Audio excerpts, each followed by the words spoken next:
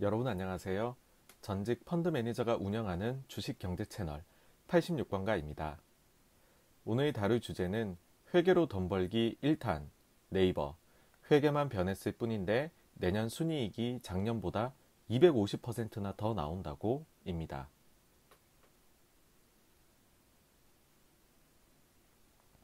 네이버의 주가 상승이 거칠 것 없어 보입니다.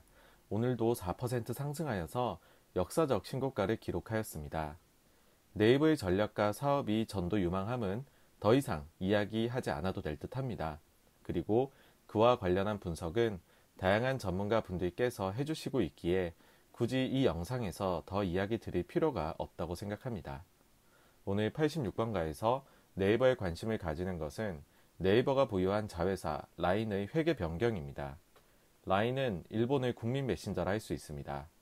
우리가 카카오톡 없이는 못 살듯 일본에서도 비슷한 위치를 차지하면서 월간 활성 이용자 수가 일본에서만 8천만 명, 글로벌로는 1억 8천5백만 명에 달하고 시가총액은 1조 3천억 엔에 이를 정도입니다.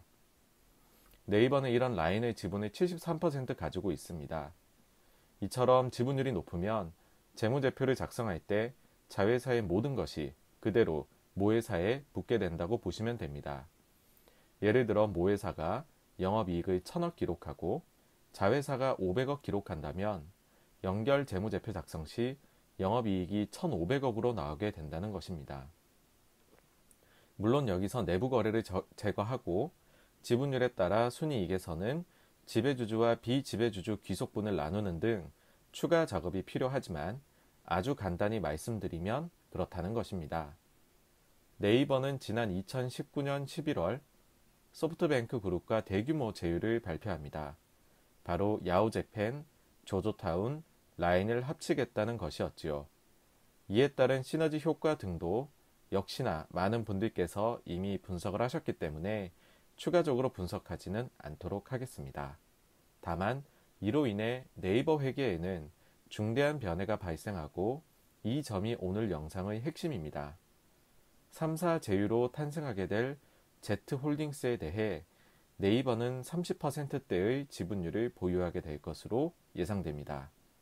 원래 라인을 73% 보유하던 것에서 Z홀딩스 30%대 보유로 바뀌게 되는 것이지요. 이 경우 더 이상 라인에서 하던 것과 같은 회계를 사용할 수 없게 됩니다. 대신 Z홀딩스에 대해서 지분법 손익을 반영하게 됩니다. 지분법 손익을 적용하면 지분율만큼의 순이익을 가져오게 됩니다. 즉, 매출액부터 영업이익, 순이익에 이르기까지 모두 가져오던 방식에서 오직 순이익에 대해 지분율만큼을 곱해서 영업의 수익으로 반영하게 되는 것이지요.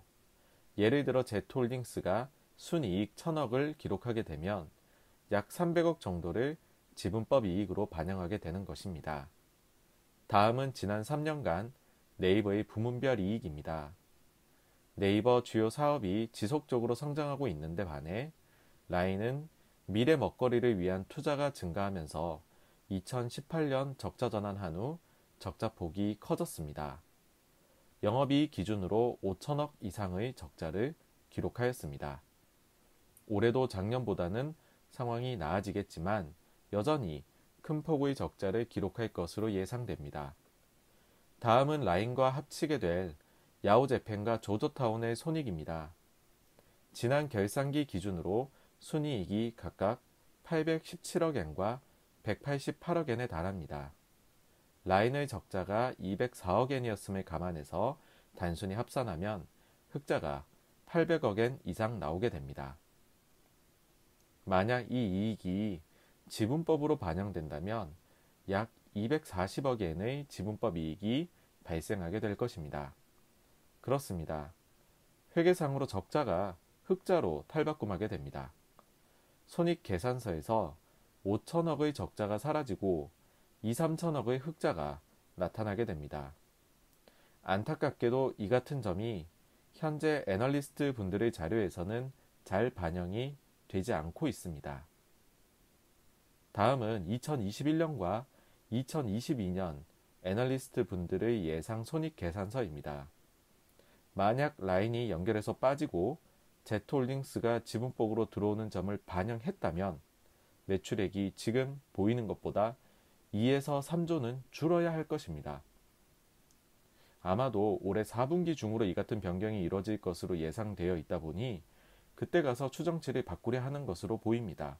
아무래도 확실하게 자료를 작성하는 것이 더 나을 수도 있으니 말입니다.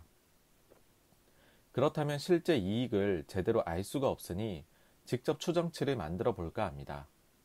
먼저 내년도 네이버 본업에서의 영업이익을 1조 5천억으로 가정해 봅니다. 올해 코로나로 부진했던 광고가 다시 회복 및 성장하고 쇼핑에서의 지속적인 성장이 일어날 것으로 보이기 때문입니다.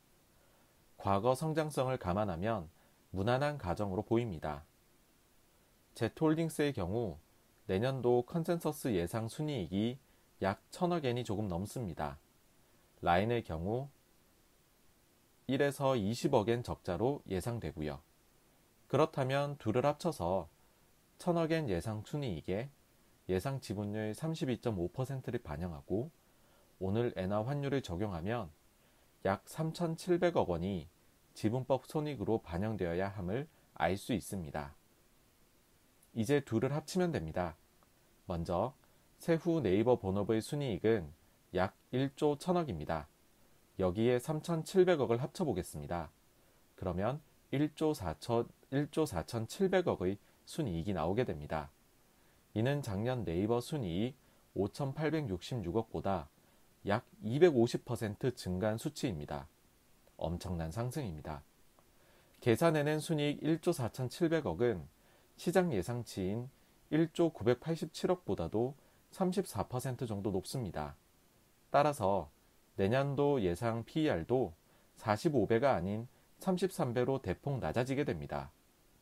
과거 3년간 네이버의 PER 평균이 37배, 가장 높았을 때가 66배였음을 감안하면 향후 못해도 10%, 잘하면 거의 2배에 가까운 주가 상승이 나타날 수도 있을 것으로 보입니다. 여기에 한 가지 주식시장에 있는 재미난 속설을 소개할까 합니다. 주식시장에서는 시가총액 2위 기업이 무엇이냐가 그 시대를 설명한다고들 합니다. 금융위기 이후부터로 보면 2009에서 2014년까지는 우수한 신차 사이클과 일본 대지진 및 도요타 대규모 리콜 반사 수혜를 등에 업은 현대차가 2위 자리를 차지했습니다. 하지만 2014년 9월 10조를 땅 사는 데 쓰면서 현대차의 시대는 저물었습니다. 반면 대규모 부지 매각 이익과 원유 및 원자재 가격 급락에 따른 이익 개선으로 2015에서 2016년에는 한국전력이 2위 자리를 차지했습니다. 그리고 2017년부터는 반도체 대호황이 도래하면서 SK 하이닉스가 2위 자리를 차지했고 지금까지 유지해 오고 있습니다. 흔히들 시대가 변했다고 합니다. 플랫폼 기업의 시대, 언택트 기업의 시대가 왔다고 합니다. 현재 2위인 SK 하이닉스의 시가총액은 60조이고 3위인 네이버의 시가총액은 49조입니다. 만약 2위가 SK 하이닉스에서 네이버로 역전된다면 또 한 번 주식시장의 속설이 맞게 되는 것이겠지요. 과연 이번에는 어떤 결과가 나올지 매우 기대됩니다. 오늘 86번가에서 준비한 영상은 여기까지입니다. 궁금하신 점이나 다루어 주었으면 하는 점이 있다면 댓글로 남겨주시길 부탁드립니다. 감사합니다.